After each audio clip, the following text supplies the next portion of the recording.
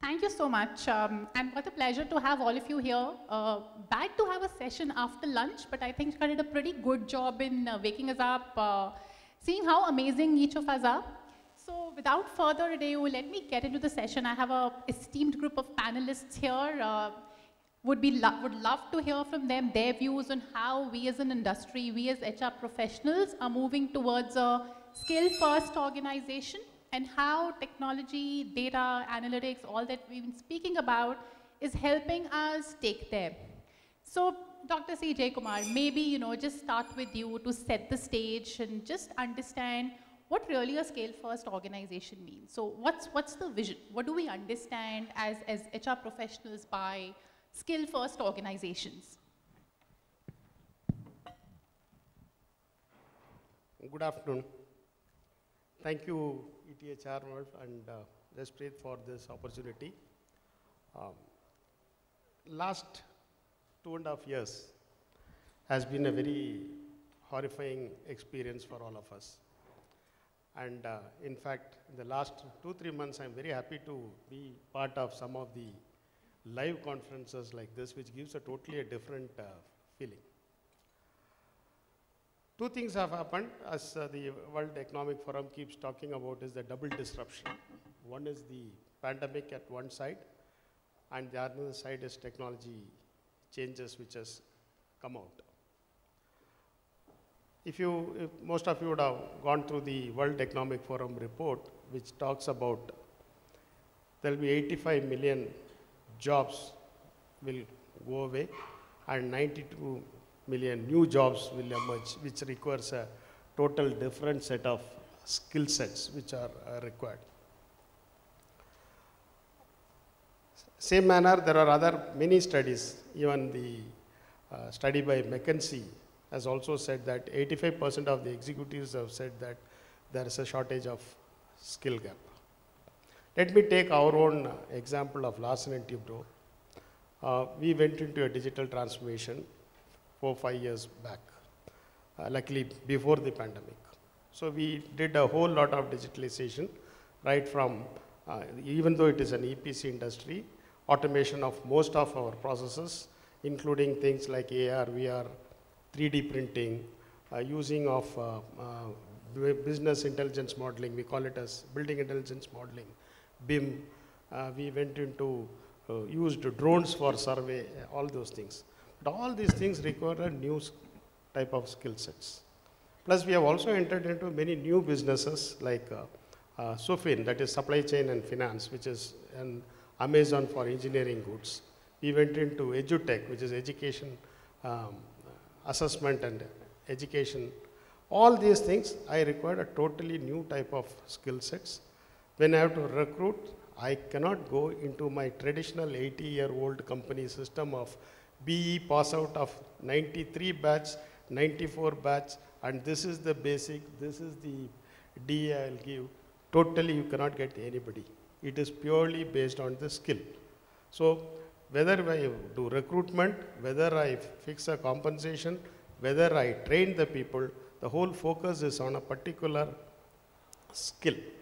So the whole training methodology has changed, whole recruitment methodology has changed, compensation fixation has changed, internal hierarchy systems have changed. So yes, added to this, you would have also seen the report from the, the uh, industry where the academia, which is 45% of the graduate engineers who are passing out are not employable.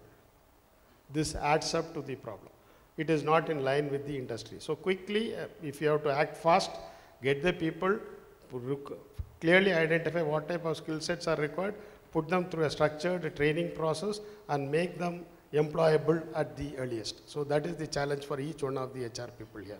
With this, I leave the stage to speak and we'll take it further. Thank you. Thank you, thank you so much, sir. This was, this was very helpful and set the stage for our conversation further on how eh, there's a need to put in skills in everything we do. Recruitment, org hierarchies, compensation, that's, that's, the, that's the core of a skill-first organization. So now if I may maybe, uh, Mr. Srinivasan, uh, go over to you. Uh, um, I think Dr. Jayakumar touched upon it. there's a big shift that the pandemic and the digitization has brought, uh, has brought in in how we think about skill first organization. So what do you know, what are the, to your uh, mind, top three things that have really changed because of this whole digitization, innovation, pandemic, you know, how has it changed in how we think about skills? So uh, I think uh, from a skill standpoint, I think there are three broad um, changes that I see happening in uh, as far as skill first organizations are concerned. One is, um, you know, uh, in the post-pandemic era, I think the uptake of digital, um, you know, AI, machine learning, this has, you know, uh, this is no longer a, you know, a, a nice to have kind of a skill set, right? And it has become a very important skill set because we are now talking about, uh, you know, metaverse, we are talking about, uh, you know, uh, basically, uh, you know, hologram presence, so on and so forth. So I think with, with the pandemic came uh, the need for certain skill sets such as, you know, if I were to, you know, list them down, there will be a whole lot of them, but I think pretty much digital uh, and cloud computing uh, were very important skill sets, right, that came into fore. They were, they were existent earlier, but they became as important as any other enterprise or core stack skills, right? So that's point number one.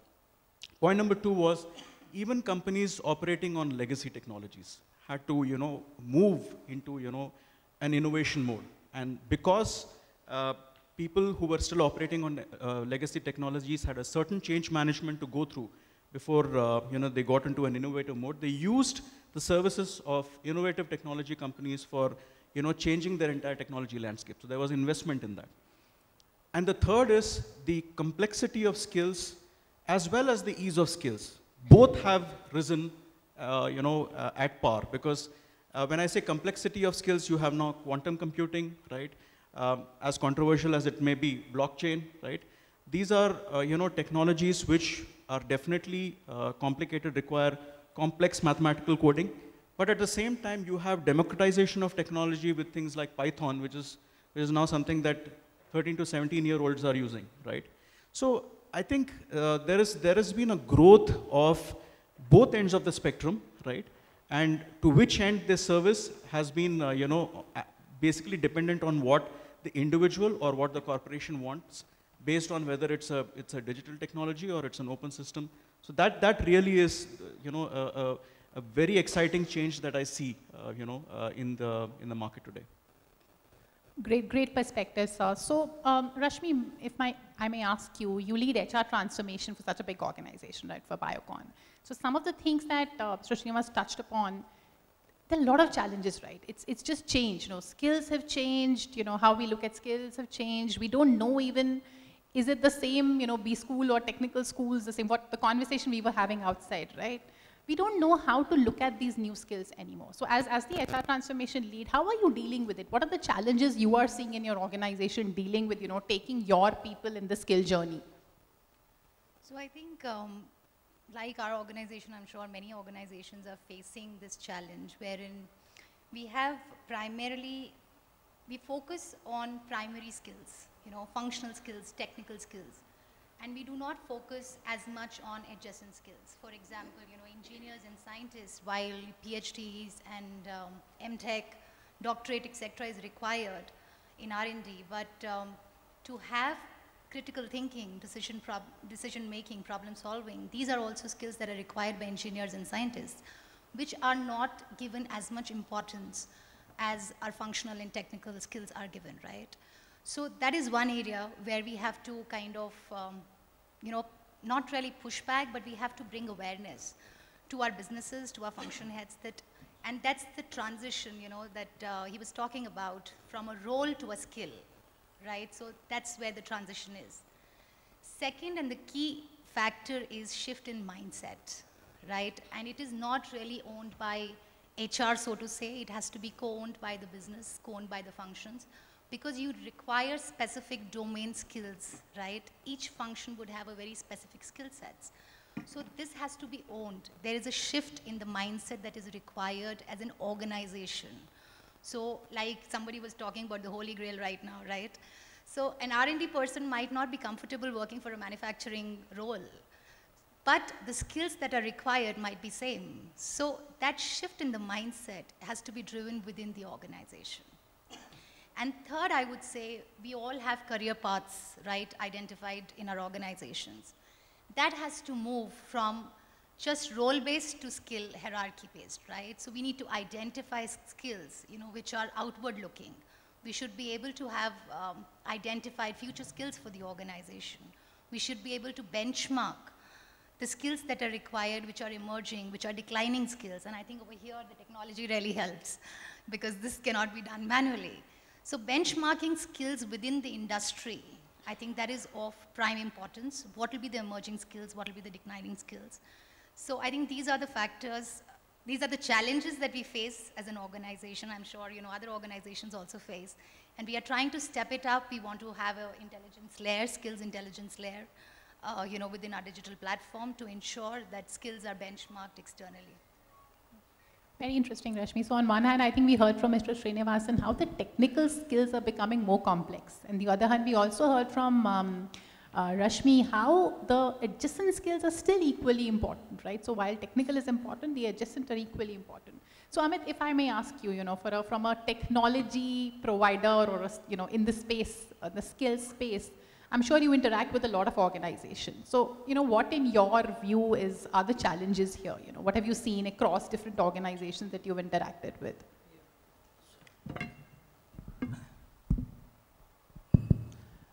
So, so first of all, uh, let me put a disclaimer. Uh, whatever I'm talking is on the behalf of our customer, partner, ecosystem. Uh, so we ourselves don't face this problem. We get to know about this problem from our customers. Some of them are here, uh, some of them may be in the crowd. So from our perspective, uh, first you need to understand, like around 30 years back, company was your career, right? Around 20 years back, your work has become your career. At 10 years back, you become your career. Good work, good company, you can change and get a good career. But now, skill is becoming a career, right? So there is no more blue collar, there is no more white collar, it's a skill collar.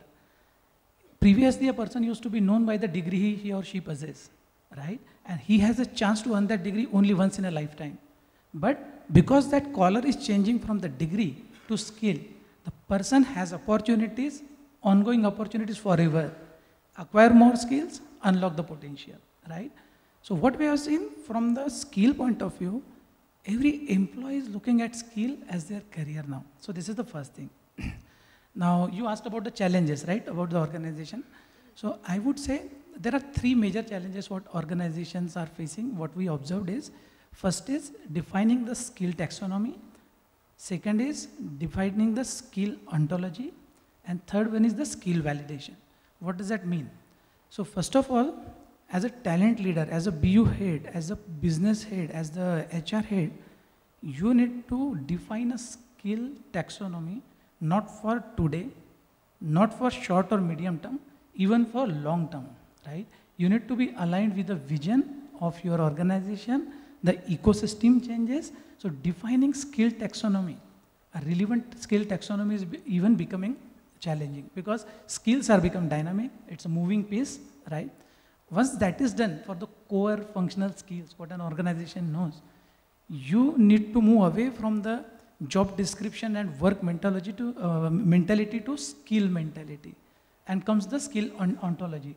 And in skill ontology, uh, creating it and updating it every now and then according to the job description, according to the moving work is becoming very challenging to them. And once these two things are done, then uh, in that case what Rashmi said, primary and secondary skills both becomes critical. Why? Because you may need to upskill and reskill and there may be some set of population which are more prone to get uh, quickly upskill because of their secondary skills. Okay? And once these things are done, you need to validate those skills as the third challenge. When I say validation, first, have you grasped that skill theoretically? Second, are you able to apply that skill into application? Third, are you able to perform on the job with that skill? So uh, I would say skill taxonomy, skill ontology, and skill validation are the three major challenges according to us what companies are facing. That's, that's very helpful, Amit. So, um, Mr. Senthil, you know, as, as the Chief Learning Officer of Hexaware, you were sort of the holder or the custodian of the skills and, you know, develop. So how, how do you deal with these challenges? So, you know, what in your recommendation, where do organizations start with, right? We're talking about embedding skills into everything, but, you know, as an HR professional, where do I start?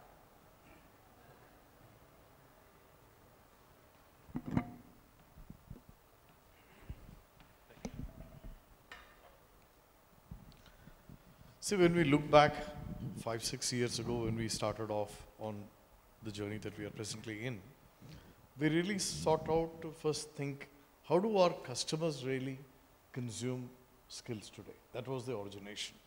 And one thing that we distinctly felt then was it is no longer just one single skill, but really composite skills that customers and actually roles, therefore, really require today. That was the starting point.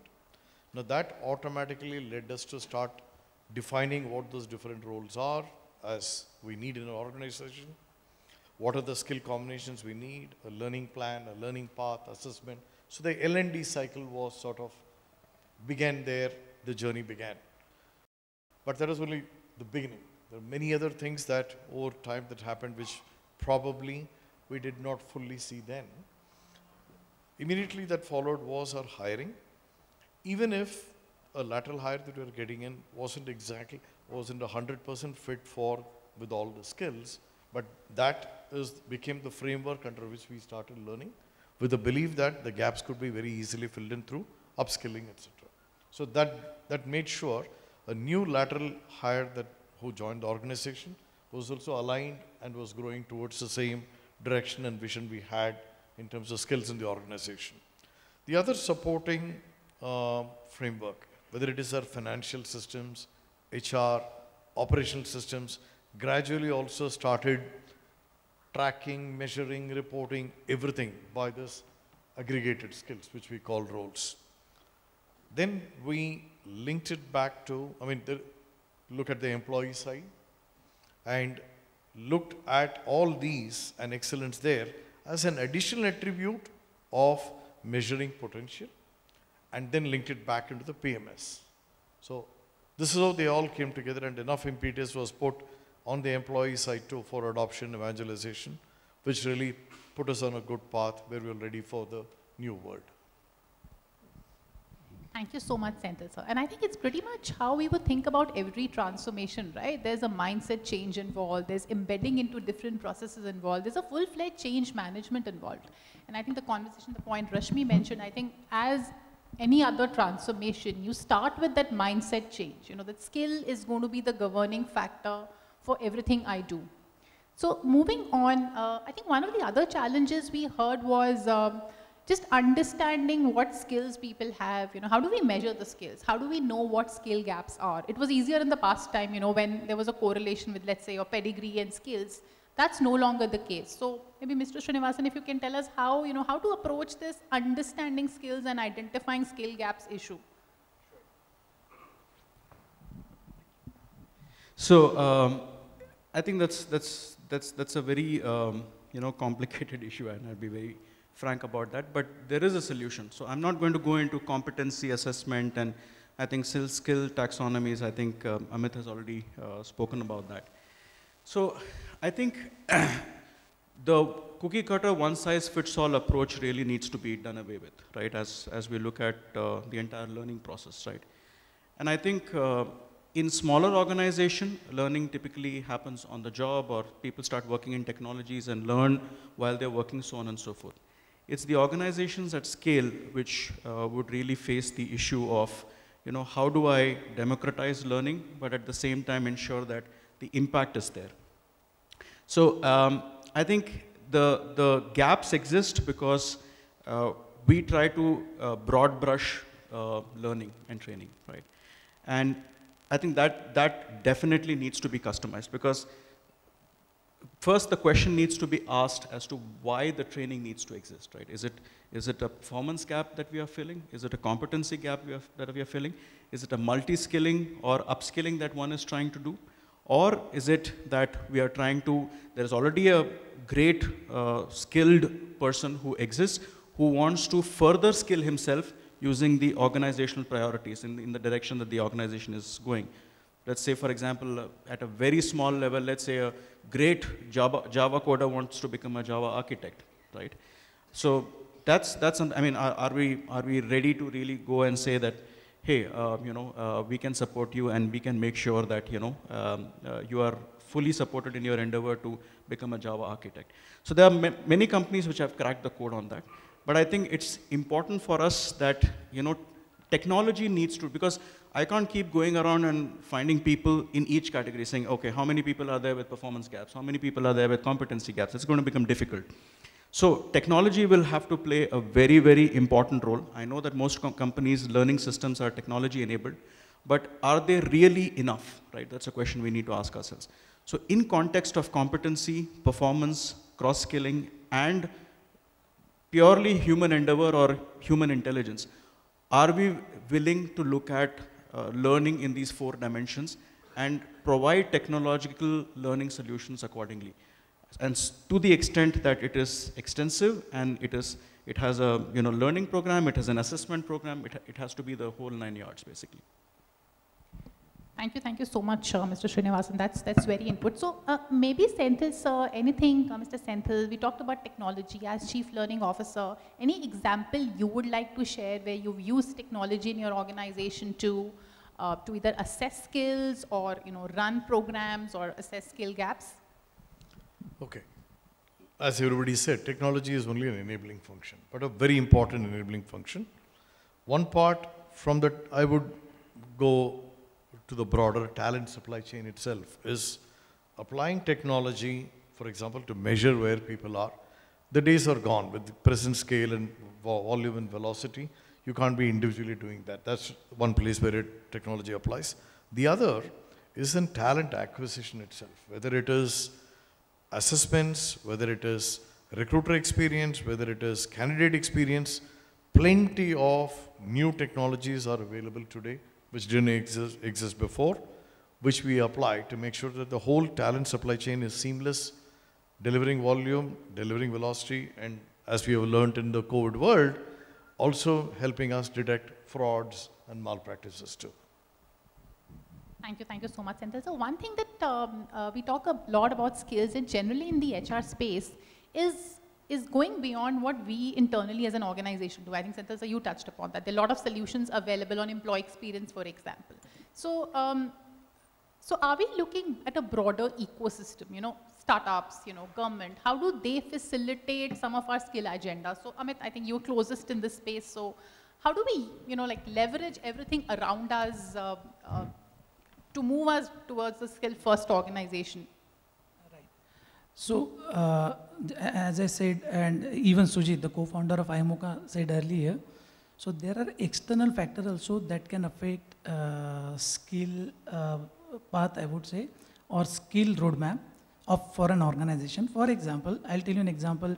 In India, government wanted to implement uh, clean energy, clean gasoline over a period of time.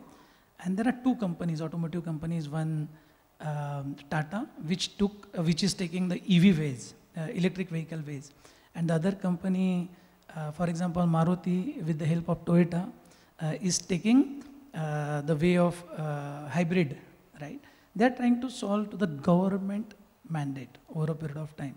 So government has decided their vision in India, right? And accordingly, those two companies have taken a stand. Now from now to there, and even moreover, like if uh, Tata goes Tesla way, they need to apply AI even over there over a period of time. So in this case, the government decisions or the ecosystem decisions, right, decides the course of the action. So definitely it affects. Then at the same time, government appoints agencies and institutions like NASSCOM in India doing a great job in terms of understanding skills, which location to invest, like whether Pune has IT services population data scientists or uh, Gurgaon has or Bangalore has. So institutions like NASSCOMs is doing a great job there in understanding the skill movement in a country as a whole, right? And regardless of industry, like NASSCOM is doing it for IT, the others are doing it for uh, other industries. And in Western world, so it is very well defined for almost every industry, okay? So that's one. Then second thing is, uh, apart from organization, if org- organization would like to take a skill first approach, solve those problems in between, do upskilling, reskilling, which is a mandate. It's, it's not an optional now, right? Reskilling and upskilling. Because skill is changing faster than ever, and you cannot acquire it from the market all the time because they may be new, right? So when they are doing it, you need to take help of the EdTech HR, HR take a lot, be it LMS, be it LXP, be it ATS, be it a skill intelligence platform like iMocha, uh, be it uh, in, any uh, other stuff. And third, even uh, there are a lot of universities in India, there are few, but in Western world quite a few, who are looking at the trends where industries are going, different things are going, and, the, uh, and uh, this is one part of it. And again, as I said earlier, in defining skill taxonomies even, you need to take help of people advisories, Uh, like Bain and Company, Gartner, and others. So beyond organization, there are advisories, there is government, there are institutions, there are edtech startup, there are HR tech, there are edtech. You need to take help from to do the, this transformation in totality. And still, vision has to be decided by your company because if that goes wrong, all this may, may go wrong. Very, very valid point, Amit. I think there's a lot of help available around. I think you mentioned edtech companies. I think universities, academicians is one thing that we've probably not uh, used enough. A great source of, and uh, we in India have some of the best, uh, you know, talent available in that space as well. Uh, but the vision should be yours. That's, I think, a key underlying point. So uh, maybe Rashmi, if you have an example where, you know, you've successfully used or been driven by, you know, uh, using one of these partnerships to upskill your people and you can share with the group? I think um, we have successfully taken um, industry academia partnership to a good level um, by Biocon Academy. So it is, I think, one of its kind, which does not only build talent for Biocon, but also for other pharma organizations. We have partnership, and it is based on the framework from, um, you know, Sloan Kettering Institute. So we ensure that graduates that are fresh out of college have certain operating, um, you know, academia in terms of how to, you know, quality, manufacturing. These aspects are covered in that academy to ensure that they are operational from day one once they graduate out of that academy. These nuances are not, you know, in the universities. They are not taught in universities, right? So I think that is a very successful platform for us, which helps us um, with respect to talent, not only for us, but other pharma organizations.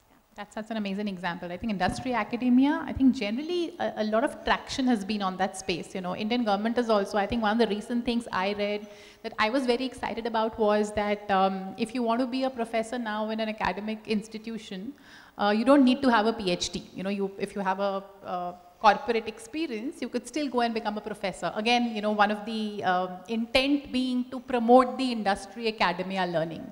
So a great conversation, maybe uh, Dr. Jayakumar, I'll come back to you. I asked you the first question on, you know, where we are, what do we understand by skill first? So maybe, you know, uh, closing, what vision should we all set ourselves up for? You know, what should we, uh, you know, what is a North Star? You know, where should we headed as far as being a skill first organization or being a skill first country for that matter? Thank you. Now I can summarize whatever they have told. It's easy thing to do. First and foremost is the mindset or the culture part of it. Hierarchy versus role. Okay, I am at this level, this level, this level if it goes. Whereas the total shift is on the role and what skill set is required to attain that. So the flatter organizations are more thing. Then our friend very nicely told, talked about skill taxonomy. It's, it looks, he's told it very easily and simple, but it's a very, very Herculean task. Imagine a company like L&T, 80-year-old organization, 52,000 employees. If different businesses were first identifying the skill taxonomy, then the proficiency level, then putting these people in those proficiency level, how do I measure them, how do I put them?